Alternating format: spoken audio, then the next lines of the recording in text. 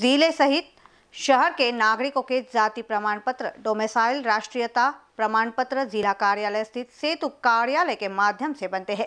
लेकिन पिछले एक महीने से लॉकडाउन के कारण सेतु कार्यालय में प्रमाण पत्र बनवाने के लिए कोई नहीं पहुँचा।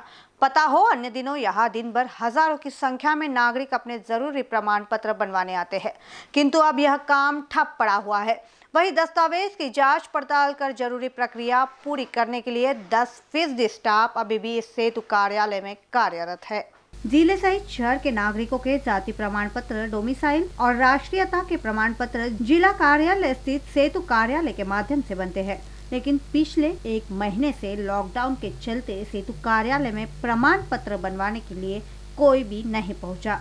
पता हो, अन्य दिनों में यहाँ दिन भर हज़ारों की संख्या में नागरिक अपने ज़रूरी प्रमाण पत्र बनवाने आते हैं। किंतु अभी यह काम ठप पड़ा हुआ है। वही दस्तावेजों की जाँच पड़ताल कर ज़रूरी प्रक्रिया पूरी करने के लिए 10 फ़ीसदी स्टाफ अभी भी इस सेतु कार्यालय में कार्यरत है। इन बीस न्यूज़ के लिए अभिषेक पांसे की रिपोर्ट।